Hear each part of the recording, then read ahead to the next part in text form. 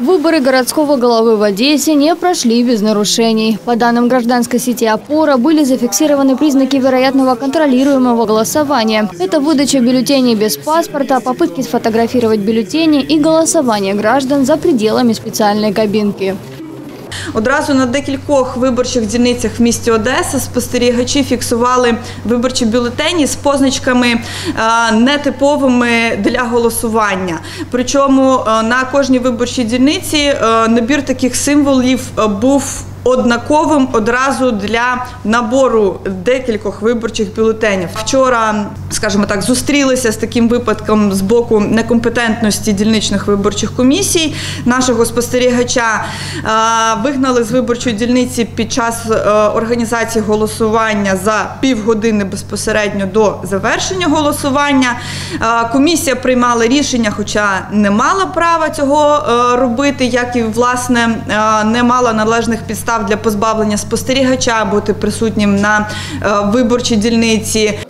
Эксперты проанализировали весь избирательный процесс и пришли к выводу. Одесская область заняла второе место в стране по количеству зафиксированных злоупотреблений административным ресурсом.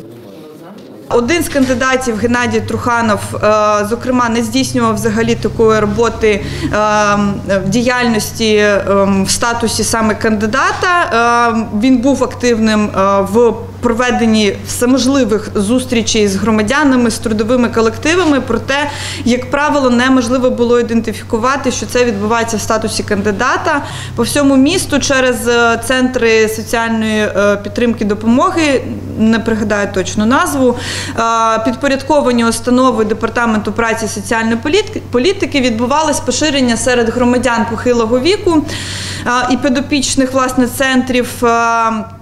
Допомоги у вигляді одноразових масок, примітивного набору е, з медикаментів, а також невеликого флакону дез- дезінфектора з інформуванням про роль міського голови е, у наданні цієї допомоги. Використання адміністративного ресурсу це атавізм, який насправді приносить більше шкоди тому, хто його використовує, ніж користі, і не є обов'язковою запорукою успіху, тому що, от як сказала Анастасія, е, роздання роздачою медикаментів було охоплено охоплено 95 тисяч виборців е, в Одесі. А кількість е, тих, хто проголосував за Геннадія Леонідовича, ну може навіть менше буде зараз в абсолютному в абсолютному значенні.